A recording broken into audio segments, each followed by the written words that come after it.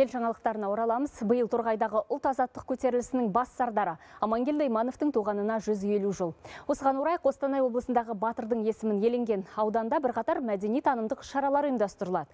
Әріптесіміз Дәуренбек Әбдібек өңірге барып бас сардардың аталас туыстарымен жүздесті.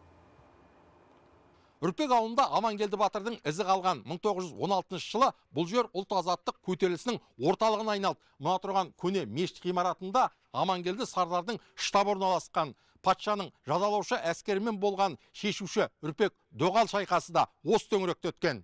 Доғал шайқасында көтерілісшілер патша әскеріне қарсы батыл тойтарыс беріп торғайға шегінуге мәжбүр еткені тарихтан белгілі. Көп ұзамай атқан төңкерісі болып қарулы қақтығыс біржола тоқтаған. Сол қан майданның куәгері үрпек бүгінде амангелді ауданындағы іргелі елді мекендердің бірі. Мұнда сардардың аталас туыстары да тұрады.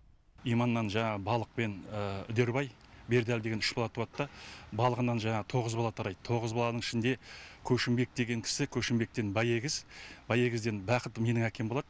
Жақындығым. Ал енді үдербайдан мысалы жаңа балық пен үдербай екеуі ағайынды болып тұр ғой. Үдербайдан амангелді кетеді. Мерей иманов үрпекте өмір бойы дәрігерлік қызмет атқарып келеді. Бала күнінде батырдың бел баласы шәріптің көзін көріп сөзін тыңдаған. Көктемде үрпектегі осы даңқ аллеясы жөнделіпті. Аудан орталығында да мерейтойға дайындық жүріп жатыр. Стадионымызға да біздің шағын жаңағы жөндеу жұмыстары жүргізіліп жатыр. Оның сыртында көшені абаттандыру көше жарығы жаңағы жолдар барақ жұмыстар қазіргі таңда жүргізіліп жатыр. Амангелді батырдың сүйегі жатқан алаңға да күрделі жөндеу жасалады. Ал 1979 жылы ашылған сардардың мемориалдық мұражайы әбден тозып төбесінен су ағып тұрған еді. Биыл оны қайта жаңартуға 67 миллион теңге бөлінді.